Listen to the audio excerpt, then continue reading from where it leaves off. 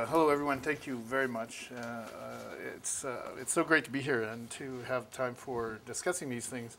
Um, my name is Wayne Robert. I've been with the Health Initiative for Men for three years now. Prior to that, I was working with governance in First Nations in northern British Columbia, and prior to that, I was the the general manager of the educational broadcaster there, um, which would be similar to Tele-Quebec or, or TV Ontario, for those of you who don't know, it's Knowledge Network in British Columbia.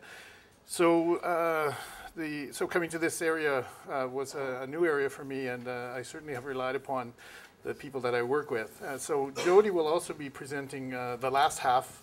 What I'm going to do is talk a little bit about organizational challenges and how we are trying to work with the internet and then we will be, uh, Jody will be talking a little more about the actual programs which we're delivering. So I'll just launch ahead and, and try and move along as quickly as I can because um, Jody will be chasing me. Uh, I want to talk, you know, in order to understand what we do at HIM, you need to understand a little bit about our mission. So our mission is to strengthen gay men's health and well-being. When we talk about gay men, we really talk about the greater uh, community of gay men, so that includes trans men and men who are having sex with men and uh, men who both identify as gay and those who are involved with men who identify as gay. Uh, we do this really in three ways. And so there's a lot of words up there, but the ones that I bolded are the ones that are, are, are the three uh, areas that we move in. Uh, first, we use uh, trusted, tailored, and targeted research-based health promotion. So all of those words have meaning for us. We want to be the health promotion that men understand and trust, and we want it to be targeted to them and to meet their needs, to go where they are and to use the language that they use. So the second, the second prong, the second approach that we use uh, is by using volunteer involvement. Virtually everything we do involves volunteers from the community. Uh, uh, we'll talk a, a lot about that today because that's part of our internet strategy as well. And then thirdly, we foster mutually beneficial relationships among healthcare providers and gay men. And again, this runs through all of our programming. We, we partner whenever we can with other organizations and with healthcare providers, and we involve gay men in those partner, partnerships as much as we can.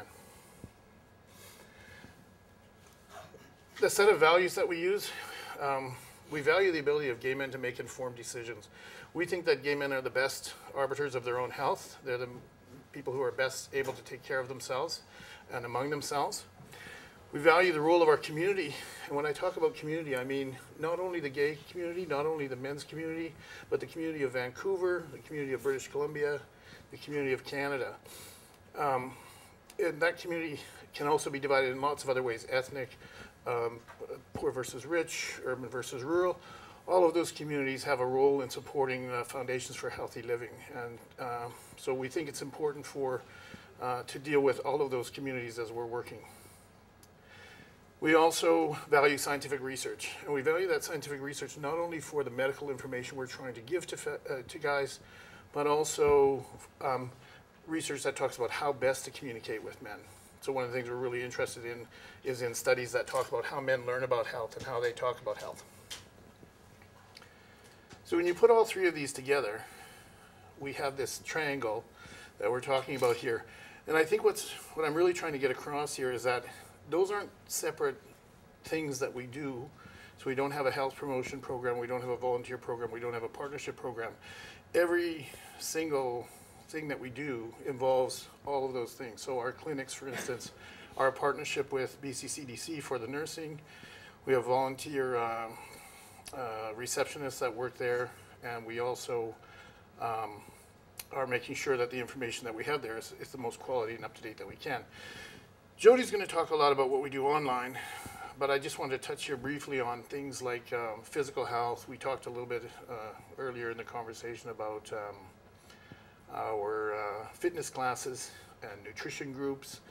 We have just, I think tomorrow night we're having a seminar on foot health uh, by a person from the community who wanted to provide that. We have yoga, as we talked about.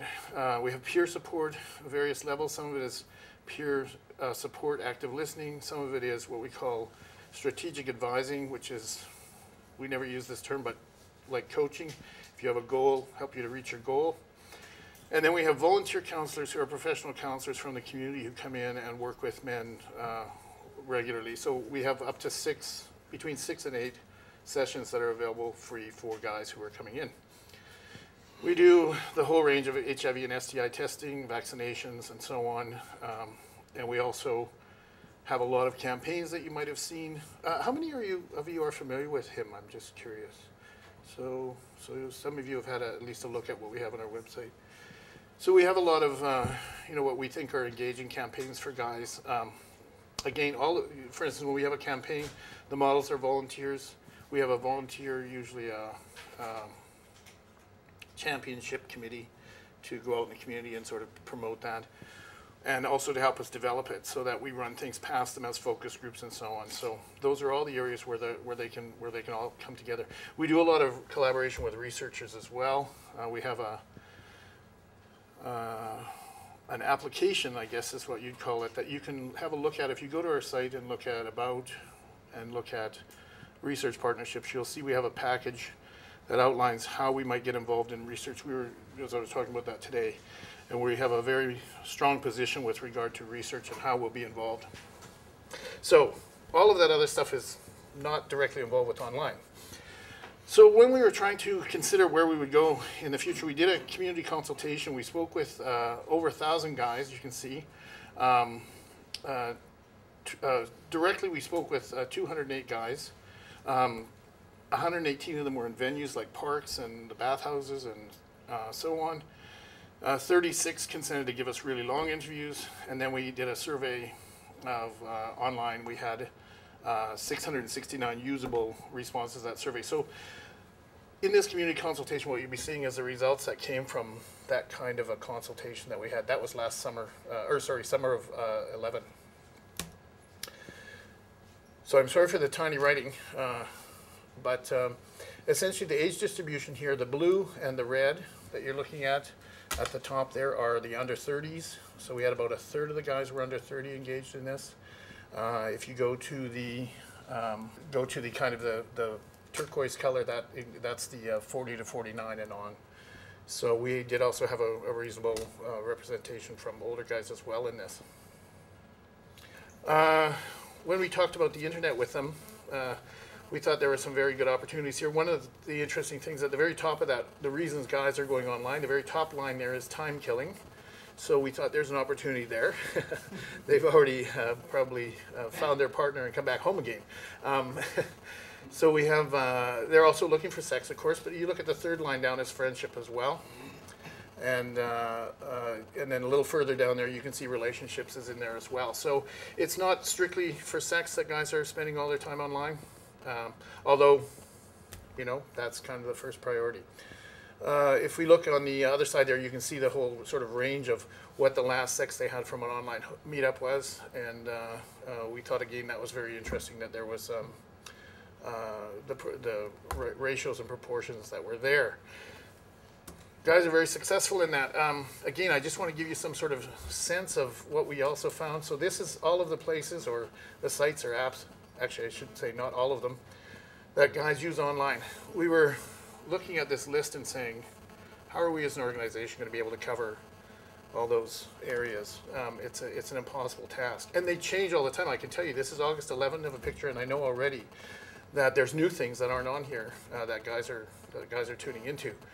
So there's no way that we could uh, picture that we could keep up with uh, with all that that uh, change or all that activity. Um, guys online, this is their frequency online. That big yellow, I think it could have been a big yellow happy face because uh, that's every day. Uh, that's guys who go on every day. the the tan line is uh, a few times a week. So you look at, there's a tremendous resource there. There's a tremendous ability to access guys online. And I sort of chuckled these questions too. When are they online? Um, morning, afternoon, evening, night. 40% uh, of them all said that they were on during all of those periods of time, weekdays and weekends. So that's what's going on underneath the uh, desk there. Um, so again, we knew that this was a this was not only a challenge but an opportunity for us as well. At the very bottom there is the link to that community consultation report, but it's much easier to just go to um, uh, go to our website, uh, checkhimout.ca, and sign yourself in uh, to our newsletter. And uh, actually, you don't have to do that, but you can search for community consultation. It'll take you to that that blog. so the lesson for us from the community consultation was was just this. You know, um, it's too much. Uh, it's gay guys are everywhere. They're all the time. They're all unique. They're not a monolithic group. They have they have their preferences. They have their ways of being, and we have to respect the the fact that there's that diversity of experience.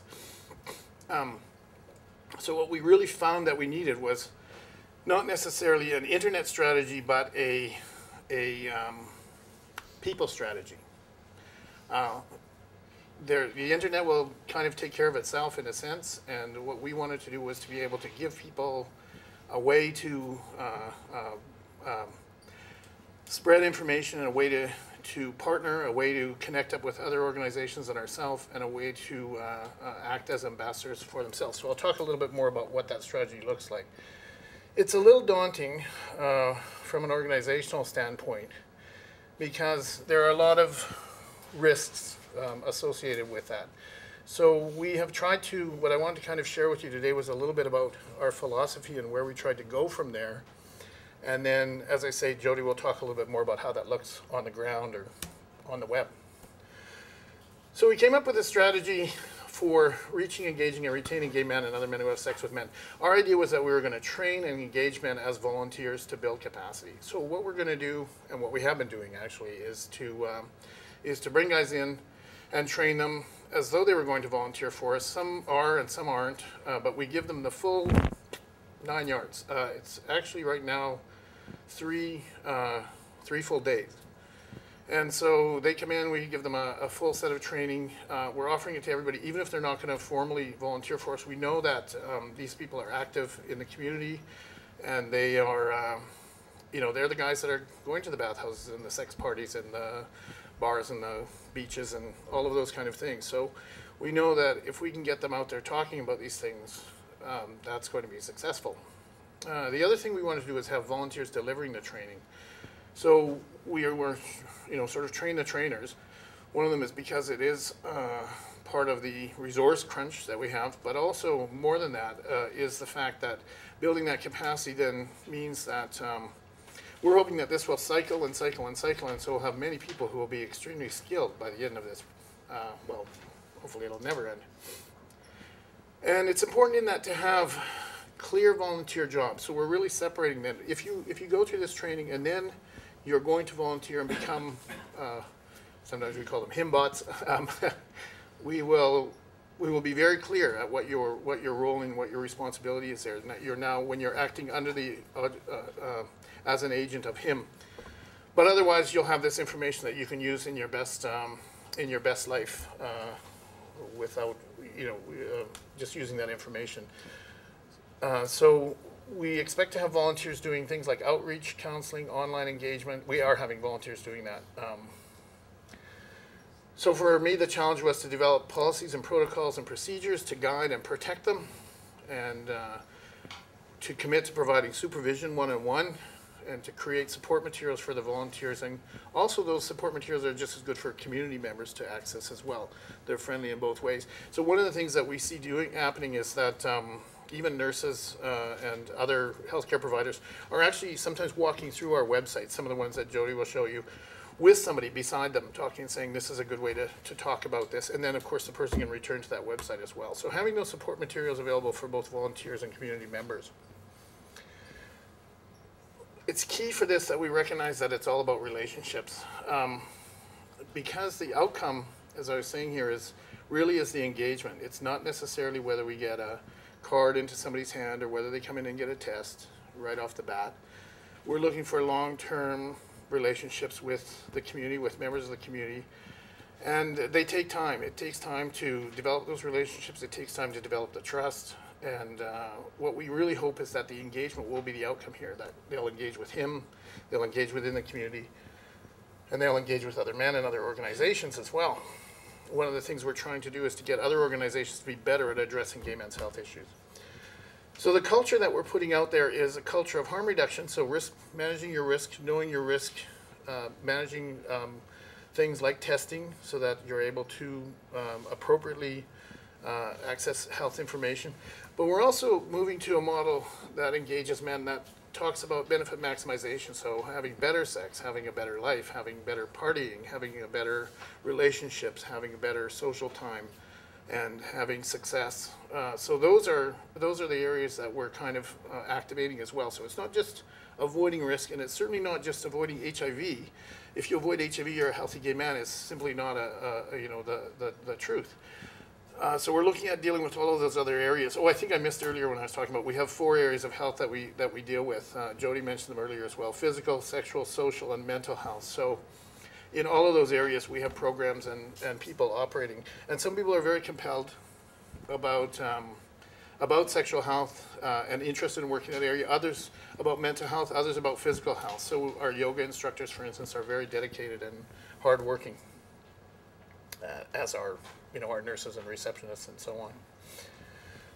So key to this was having a handbook that's a guide to volunteering uh, that separates the volunteers from the from the uh, clients, if you will. Um, it's a guide to their role and responsibilities. It's also helps them to access those resources that I was talking about. And we're really doing that as a, as a creation. These are ongoing documents. They, they really exist. It's very funny because every time I give this to somebody, they say, well, well, it says draft. And it's sort of like, yeah, this is draft 13. I think the, the uh, well, I know for sure that the one that we're using for our online protocols is draft 13, the one that, that I'll make available to you if you like. Um, so these are kind of living documents uh, now. Um, what's I going to say about this? Again, very significant in, in, in um, uh, making sure that our volunteers are very clear in their role, uh, what's going on.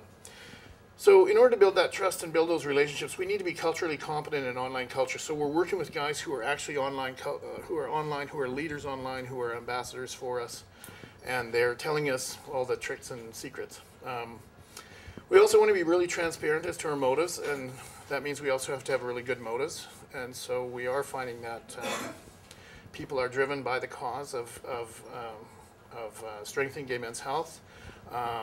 We find, you know, for instance, uh, there's lots of lots of uh, controversial issues. Uh, we're very clear on, you know, on the fact that there can be controversy and people can join in or not. Uh, issues around, um, you know, testing and and uh, all of those kind of areas. Uh, we like to keep an open dialogue and keep talking about it, but we are very clear on what our position is. We put out position papers to let people know that as well. And again, we're fine with the fact that people may not be ready to engage right now. Um, and it, as I say, when you take that long view, it, it, enables you to say, well, maybe not now, maybe tomorrow. Uh, so to continue to build on those relationships, we're really looking at those issues of privacy and confidentiality, making sure that we have a reasonable uh, engagement that doesn't preclude that privacy and confidentiality.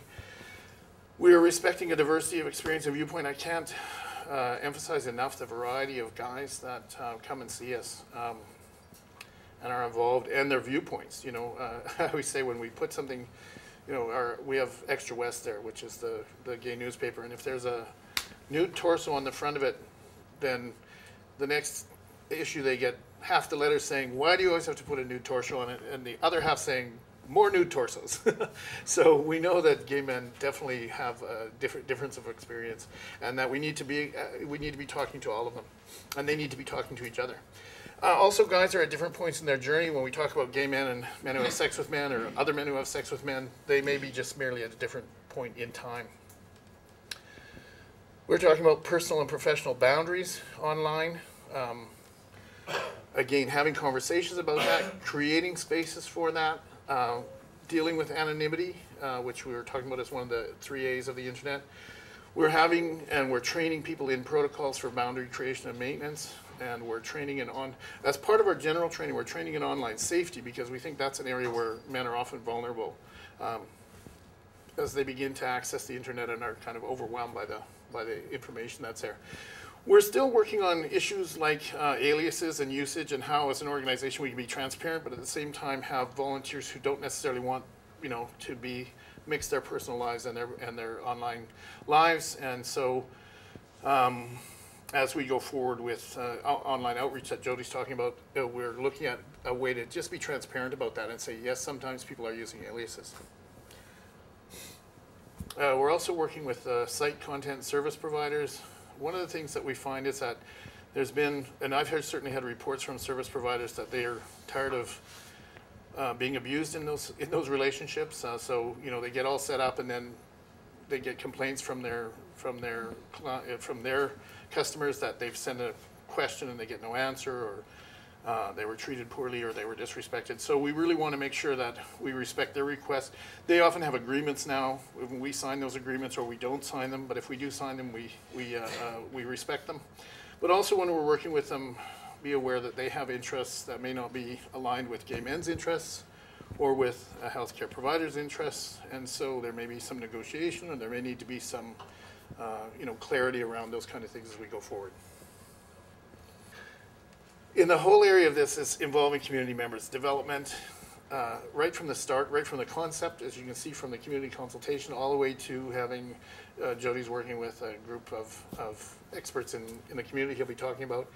Um, but really what we want to do is create leaders and ambassadors uh, for Gay Men's Health who are dedicated to strengthening gay men's health. We want to then customize that experience for them.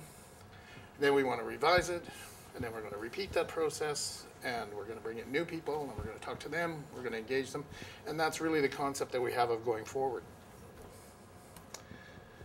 So that means in our training, we're developing core competency statements. So we need, these are our core competencies for volunteers in those various positions. We're creating those training modules with their clearly expressed learning outcomes. We're doing a self-test on those outcomes and a test uh, after the, uh, after the experience. And then the, the potential volunteer does a self-evaluation, how am I doing on these core competencies? And the supervisor does an evaluation, how are you doing on these core competencies? And then they get together and see whether they're in agreement. Surprisingly, mostly they are actually. Uh, so guys will say, yeah, I need more training in that, or, uh, you know, I'm not comfortable in that area. We also need to talk about documentation. Um, so we need to have some kind of records, but we are really concerned, especially now about uh, privacy and legal issues. We need to have incident reports. We need to be able to support people through incidents that they may run into as they're doing outreach or, or online as well. Um, and we need to be able to follow that up. And we need to make sure that they have good access to that training resource materials and know where it is, and it's re- really easy to access for them. And then we really, it's not only tracking volunteers, but everything we do, we treat volunteers as if they were employees, in that sense of, um, except we don't pay them anything. uh, we don't even uh, use an honoraria system. Um, but we do, you know, we do want to count their, their contribution and respect their contribution when we're looking at resources uh, and content for it, we've got there's a million different ways of getting that, but a lot of it that we're getting right now is volunteer generated, and uh, and we're also doing a lot of links with partnerships, and so that makes it much easier. And then finally, we have to talk about the technology, whether we're going to be using our own technology in our offices or people's technology, their phones, uh, to to connect up with. So we're going to have to have some rules about that, uh, some some protocols around that. Uh, it's the same with using um, the internet services itself. So we feel a lot of times it makes much more sense for us to go to where guys are rather than trying to create a site and have them come there. It just hasn't really taken off. So we're using public and social media that way. And uh, and again, again, the rest is a little bit of common sense. We do need to make sure that we have some kind of firewalls and some kind of blocking, but that we can be as open as we possibly can in that interactive environment. That also talks about things like moderating discussions and so on. Those are areas where we're going to have to look at. So I've gone through it.